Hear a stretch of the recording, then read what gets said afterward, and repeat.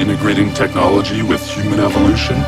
Seems like such a good sell for man. You're building a better you.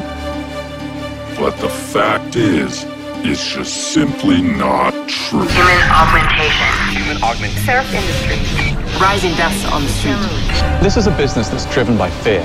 If I don't improve myself, if I don't augment myself, then I'll be less intelligent, less capable, less strong than the rest of the human race. Augmentation is a huge business for these corporations, and we're paying for it by sacrificing our humanity and freedom. Violent clashes. Reports of human experimentation. We have to ask the question are we playing God? We've been integrating ourselves with technology for decades now, replacing damaged limbs with mechanical limbs, implanting data chips into our bodies, which give away huge amounts of information to governments and corporations all across the globe. At no point have they thought about the consequences of their actions.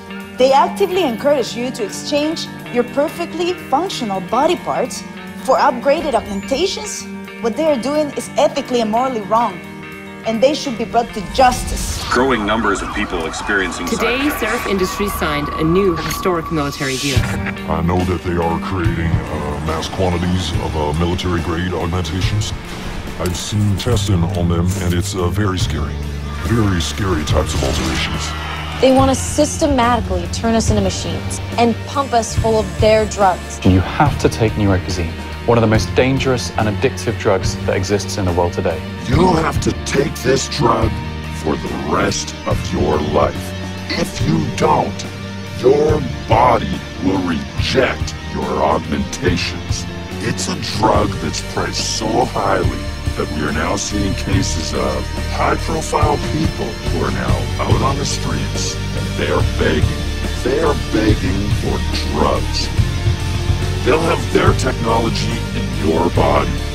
They could have the power to turn off your limbs, the potential to turn off your eyes.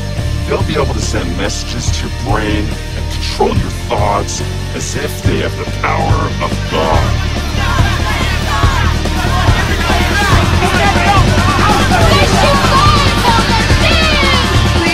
If you don't take their drugs, you'll die. People have been abused